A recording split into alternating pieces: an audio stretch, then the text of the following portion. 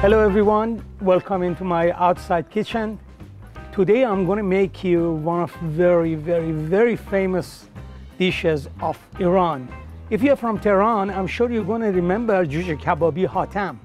That was in Pahlavi Street, just north of Vanak Square on the corner of Zafar and Pahlavi. Oh my God, it had one of the best, one of the best Juje kebabs in the world. Not only in Tehran, not only in Iran, I'm sure it was in the world. And I want to make you that Juje kebab, I want to show you how to make it and basically with just Cornish hen. If you want to make this dish, definitely you need Cornish hen. Your uh, Cornish hen should not be more than 22 ounces or about seven, 800 grams. That is the time you can get the best result from your dish. Also the way you grill the chicken, it's very important. I'm doing this for one of our uh, followers, one of our followers with the name of Miss Paris. I think she is in the United Kingdom, in England. And the other day she was asking me to make this and I said, fine, I'll do it. And um, you can see all her feedbacks, all her reviews on our YouTube page. And every single dish I have made, she has put some sort of review. If you guys have any recommendation or if you need any help with any of the recipes, just ask me and definitely I will do it. Marinating this juje kebab is absolutely easy. And also it doesn't have any mayonnaise or yogurt or sour cream or any dairies.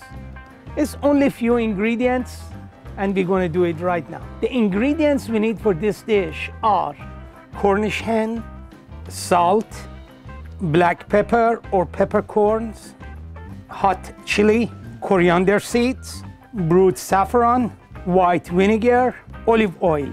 Let's start from our marination. For three Cornish hens, I need about one teaspoon of coriander seeds, one teaspoon of peppercorns or black pepper, three teaspoons of salt, and quarter teaspoon of hot chili. Smash your spices and your salt into a powder. Also, we need two onions and slice your onions into quarter inch wide. Mash your onions until you can feel the juice has came out and the onion is quite wet and the juice is little bit sticky or little bit oily. By mashing the onion, you're getting rid of the sulfuric smell of the onion. Also, the onion become a little bit sweeter or you cannot smell the uh, ammoniac smell from that. As you see, the onion has not been mashed all the way, just has been pushed a little bit down and the juice has came out. About two or three ounces of brewed saffron and half an ounce of white vinegar or white balsamic.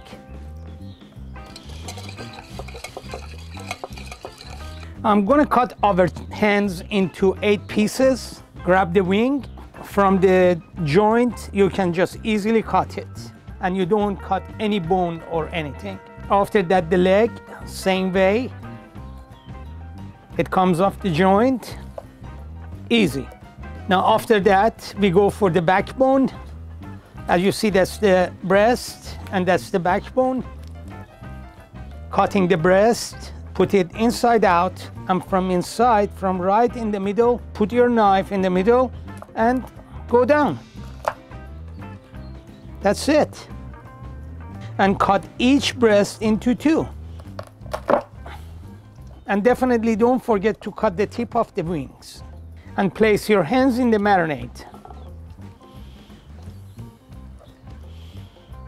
After you put your pieces of ham in the marination, rub the whole thing until you make sure the whole thing has been covered with that marination and add about two ounces of olive oil and olive oil going to lock the actual taste of the marinade into your chickens. And it's the time to add the onions and make sure all the pieces of chicken you have got there is some onion has been touching them. Cover your chicken.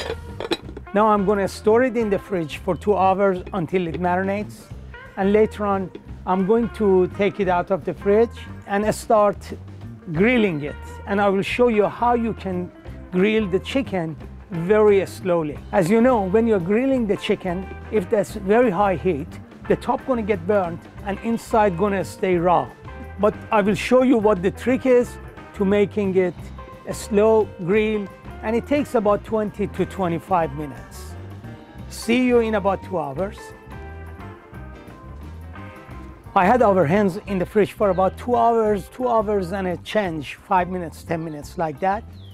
And also I had to cut the legs into two pieces. As I said, cutting each hen to 10 pieces, I cut it to eight. And suddenly I remembered I have to cut the tie from drumstick. And I did it before I placed them in the fridge.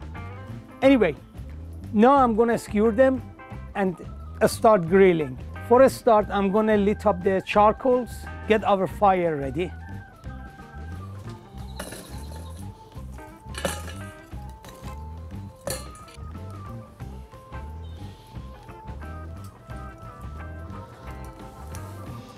I love to have one skewer of grilled jalapenos and definitely a skewer of grilled tomatoes.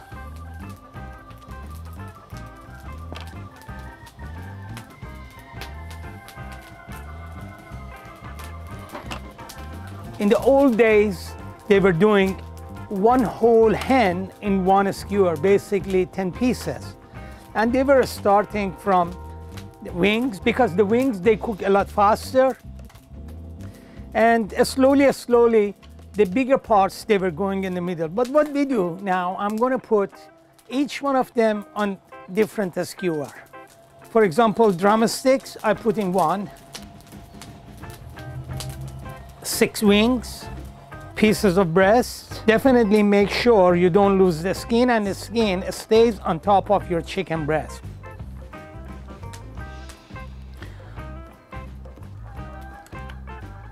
That is how they used to do back home.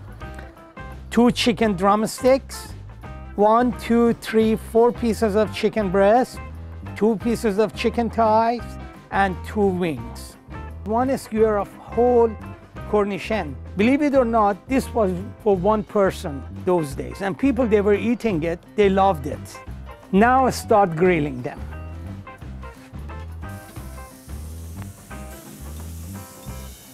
As I mentioned in the beginning, we have to grill our Cornish hens in very low heat. You don't have to blow the charcoals anymore. You have to slow grill them. I'm gonna cover the whole thing. And if you don't have one of these containers, you can easily cover it with aluminum foil. Now I will grill our Cornish hens for about 20 minutes. After 20 minutes, I'm gonna come back, I'm gonna turn them and again grill them for another 10 to 15 minutes until they get ready. See you in a few minutes. I have had our Cornish hens on the grill for about 20 minutes and in this 20 minutes once I came and I turned them while the camera was off. Now let's check it. Smell is perfect. Oh my God, yes. They have grilled quite nicely. and it's the time to put our jalapenos.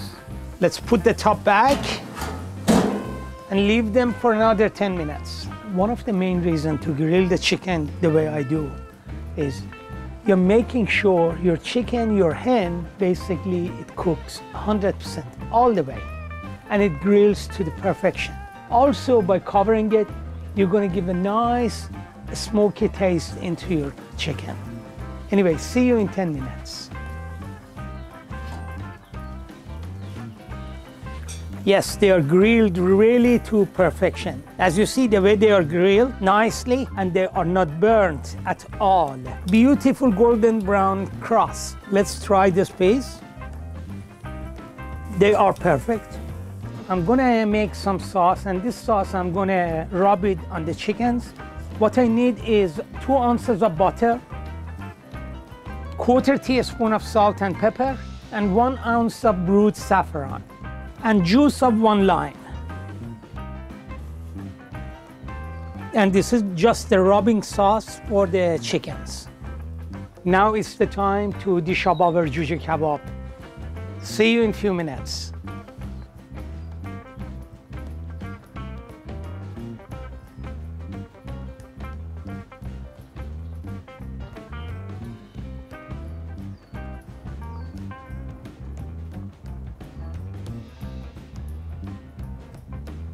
This is our final product. Hatem Restaurant's Jujia Kebab style or our Cornish hen. It is almost similar to that. I'm, I'm sure, not me, nobody can really make it the way Hatem Restaurant was doing it. I have added a couple of different things and you don't really have to add and that is optional. One of them was coriander seed and also hot chilies. But I like the taste of them, I added. I remember we used to go there with my mom and dad and it was me, my mom, my dad, my younger sister, and my youngest brother. Those days they were ordering one portion for my dad, one for my mom, and one portion for me and my sister.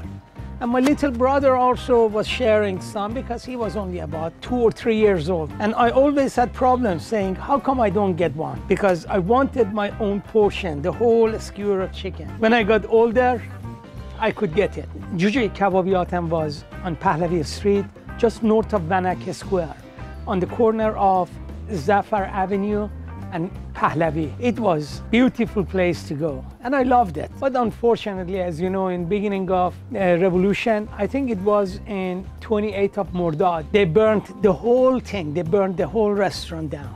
The food was excellent. I can never ever forget the food they had. Anyway, Let's try a piece of that, see how it is.